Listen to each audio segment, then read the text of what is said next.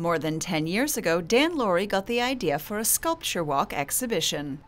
Just in my travels around the world, uh, seeing wonderful sculptures everywhere and the joy it brings to people, and I came home and um, I just thought, boy, wouldn't it be great for, for Burlington?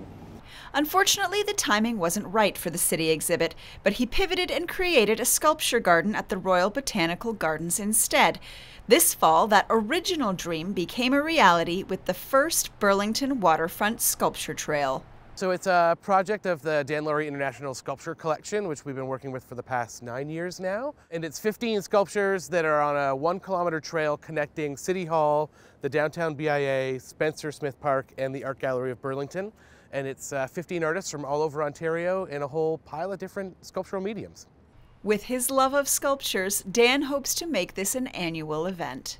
Just because it stimulates people's imagination and, and engages them. Uh, when I see families walking along the waterfront and the kids stop and they're looking at it and the parents are reading about the sculpture and they're taking pictures and I think it stimulates their own imagination and so who knows what that could lead to and it just brings a lot of joy and it uh, really adds to the community.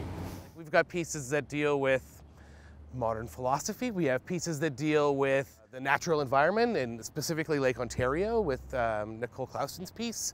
We have an Indigenous work by Tom Wilson and Mark Fliger. So we've got pieces that deal with all sorts of different topics and that was really a really important piece to the jury that selected the works that we were presenting a wide range of things because these areas are used by so many different people. We wanted everyone to find something they loved, something they hated, something they found controversial.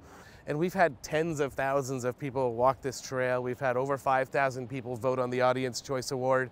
So it's a chance for them to finally get some feedback. Artists create work for the public to, um, to engage in it and not having that opportunity has been really challenging, both like so financially it's been challenging, but it's also been emotionally and mentally challenging for artists over COVID not to have that feedback system going. So artists need festivals and exhibition spaces and and, and they need patrons to, to support them.